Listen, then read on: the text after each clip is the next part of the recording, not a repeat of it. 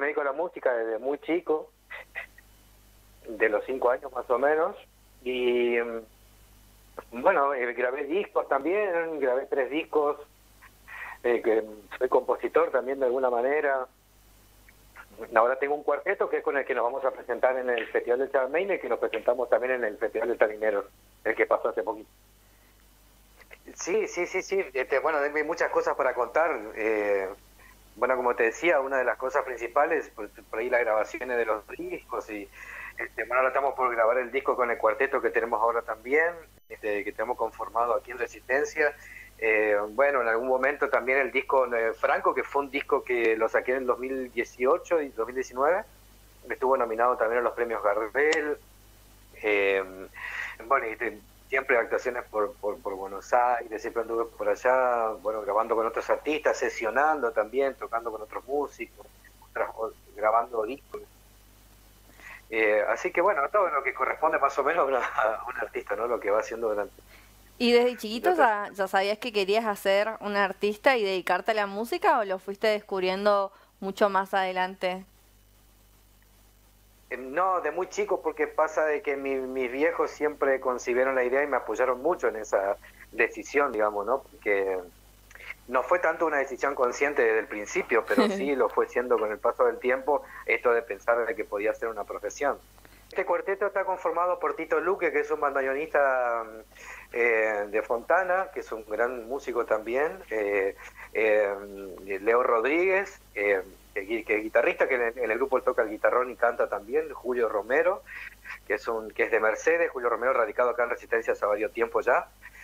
Y esto nace a través del, del proyecto de mecenazgo, nosotros íbamos a tocarlos a los colegios secundarios, para los chicos, digamos, para difundir el chabamé. El proyecto se llama Difusión Masiva del Chabamé. Bueno, ahí nace el cuarteto en realidad y ahí empezamos a tocar y empezamos a expandirlo un poco más eh, fuera de ese proyecto, ¿no? Así que bueno, ahora hace tres años que tiene existencia y, y bueno, ya grabamos el año pasado un, disco que tenemos pensado presentarlo este año. Bueno, eso tiene que ver con la nocturnidad también un poco, eh, un poco de la tranquilidad de la noche donde uno se puede sentar a, eh, a componer, a estudiar, ¿no? tuvo que ver con todo eso, una transición de mi vida en donde por ahí todas esas composiciones o todo ese estudio eh, se gestaba a través de la noche, en momentos tranquilos. Así que por eso fue más que nada el título del tema. Este es un disco que sacamos en el 2014, eh, bueno, que hubieron invitados también, estuvo Patricia Hermosilla como invitado, gran compositora aquí a Resistencia, guitarrista, eh, estuvo, eh, bueno, el querido admirado Coqui Ortiz, también grabamos una canción de él muy, muy, muy bella.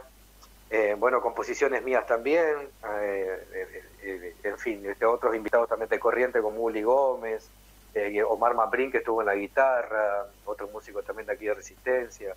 Estuvo invitado también Germán Calver, otro músico que, bueno que trabajamos juntos siempre y que estamos trabajando ahora juntos también en La Gavilán, que es otro proyecto que se está encarando hace poco. Así que, bueno, eso más o menos fue el disco Noctámbulo.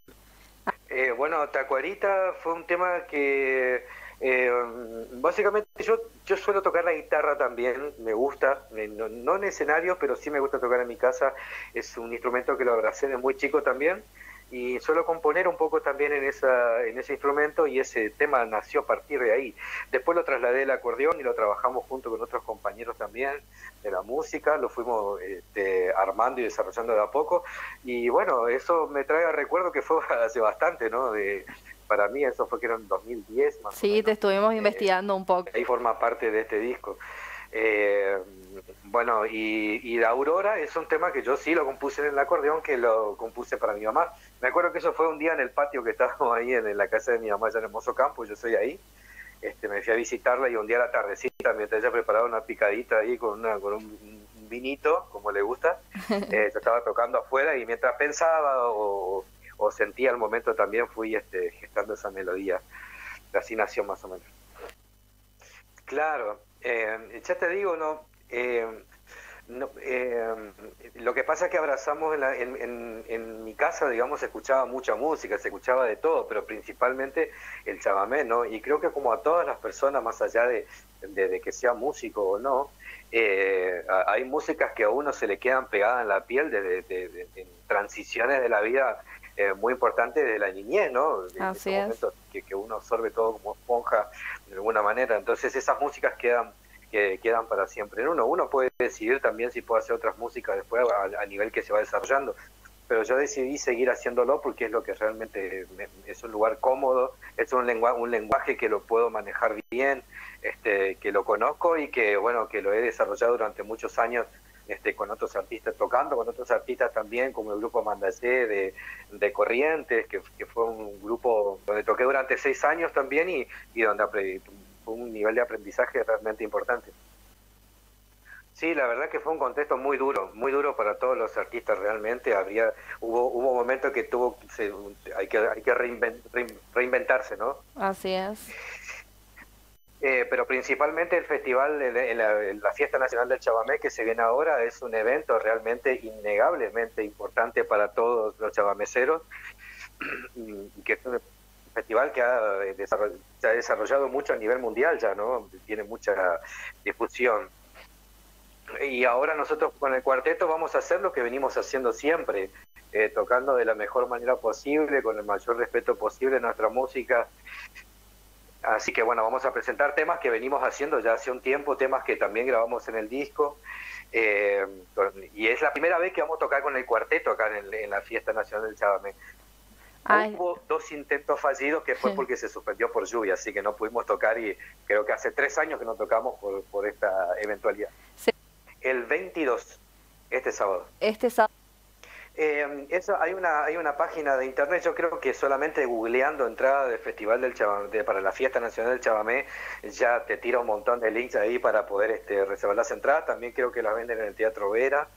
Eh, por supuesto que también las venden en, puerta de entrada las, eh, y, la, y por, sobre todo, bueno, como es un festival popular, las entradas también son muy accesibles, así que, este, bueno, las puedes comprar en, ahí en el mismo festival también.